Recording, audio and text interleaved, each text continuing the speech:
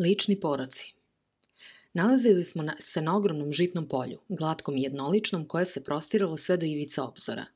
Jedino što je narušavalo monotoniju pejzaža bio je srednjovekovni stup s krstom na vrhu koji je obeležavao put hodočasnika. Stigavši do stuba, Petrus ostavi ranac na zemlju i spusti se na kolena. Zamolio me da i ja kleknem. Sad ćemo da se molimo. Molit ćemo se da savladaš jedinu stvar koja može da porazi hodočasnika kad pronađe svoj mač, a to su njegovi poroci – Makoliko nauči od velikih majstora kako da barata sečivom, jedna njegova ruka će uvek biti njegov najgori neprijatelj. Molit ćemo se da svoj mač, ukoliko ga pronađeš, uvek držiš rukom koja te neće sablažnjavati. Bilo je dva sata popodne. Nije se čuo nikakav zvuk ni šum i Petrus započe. Smiluj se, gospode, jer mi smo hodočasnici na putu za kompostelu, a to može biti porok. U svoje beskrajno milosti učini da nikad ne upotrebimo naše znanje protiv sebe – Smiluj se na one koji su milostivi prema sebi i smatraju da su dobri, a da je život prema njima nepravedan jer ne zaslužuje ono što im se dešava. Smiluj se na njih jer oni nikad neće uspeti da vode dobru bitku. I smiluj se na one koji su surovi prema sebi i vide samo zlo u svojim postupcima. I smatruj se krivim za sve nepravde ovog sveta. Jer oni ne poznaju tvoj zakon koji kaže Čak su i vlasi tvoje kose izbrojane. Smiluj se na one koji zapovedaju i na one koji se satiru radom i žrtvuj se – dobijajući za uzvrat jednu nedelju kad je sve zatvoreno i nemaju kuda da odu. Ali smiluj se i na one koji smatraju svoje delo svetim i prekoračuju granice sobstvene ludosti da bi na kraju završili kao svetitelji ili bili razapeti na krst od svoje rođene braće. Jer oni ne poznaju tvoj zakon koji kaže Budite mudri kao zmije i krotki kao golubice. Smiluj se jer čovek može pobediti čitav svet, a da nikad ne vodi dobru bitku sa samim sobom ali smiluj se i na one koji su dobili dobru bitku i sad tavore po ćoškovima i krčmama života jer nisu uspeli da pobede svet.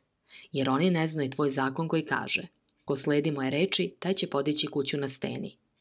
Smiluj se na one koji se plaše da se late pera, kičice, muzičkog instrumenta, oruđa, jer smatruju da je neko već uradio nešto bolje od njih i ne osjećaju se dostojnim da uđu u čudesno carstvo umetnosti ali smiluj se i na one koji su se latili pera, kičice, instrumente i alata, a svoje nadahnuće pretvorili u ništavno osjećanje da su bolji od drugih. Jer oni ne poznaju tvoj zakon koji kaže ništa nije skriveno, a da ne bi bilo otkriveno. Smiluj se na one koji jedu i piju do sitosti, ali su nesrećni i usamljeni u svom izobilju. Ali smiluj se još više na one koji poste, zakidaju i zabranjuju i osjećaju se svetim i propovedaju tvoje ime na trgovima. Jer oni ne poznaju tvoj zakon koji kaže – Ako svedočimo samom sebi, moje svedočenje nije istinito. Smiluj se na one koji se plaše smrti, a ne poznaju mnogobrojna carstva kroz koja su prošli i mnogobrojne smrti kojima su već umirali. I nesrećni su jer misle da će se sve svršiti jednoga dana. Ali smiluj se još više na one koji su već spoznali svoje mnogobrojne smrti i danas se smatraju besmrtnima, jer ne poznaju tvoj zakon koji kaže Ko se ne rodi ponovo, taj neće moći da ugleda carstvo Božije. Smiluj se na one koji su dozvolili da budu zarobljeni svilenim užadima ljubavi, koji smatraju da su nečiji gospodari i osjećaju ljubomoru i gutaju otrovi muče sami sebe jer nisu u stanju da vide da se ljubav menja kao vetar i kao i sve na ovom svetu. Ali smiluj se još više na one koji umiru od straha od ljubavi i odbijaju da vole u ime jedne više ljubavi koju ne poznaju, jer ne poznaju ni tvoj zakon koji kaže ko pije od ove vode nikad više neće biti žedan. Smiluj se na one koji svode svemir na jedno objašnjenje, Boga na čarovni napitak, a čoveka na stvorenje sa osnovnim potrebama koje moraju biti zadovoljene, jer oni nikad neće čuti muziku sfera. Ali smiluj se još više na one koji imaju slepu veru i u laboratorijama pretvaraju živu zlato i okružuju se knjigama o tajnama tarota i moći piramida. Jer oni ne poznaju tvoj zakon koji kaže Carstvo nebesko pripada deci. Smiluj se na one koji ne vide nikoga osim sebe, za koje su drugi samo zbrkan i dalek prizor, koji vide kad prolaze ulicama u svojim limuzinama i zatvaraju se u rasklađene kancelarije na posljednjim spratovima i pate u tišini od samoće koji donosi moć.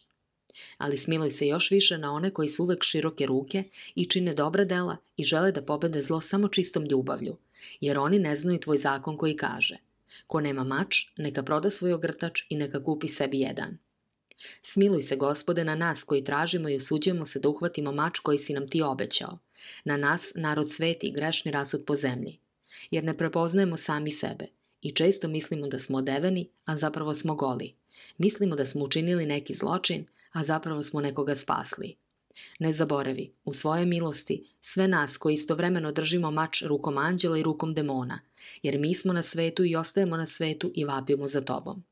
Uvek nam je potreban, kao hleb nasušni, tvoj zakon koji kaže Kad sam vas poslao bez torbe, bez bisaka i bez sandala, ništa vam nije nedostajalo.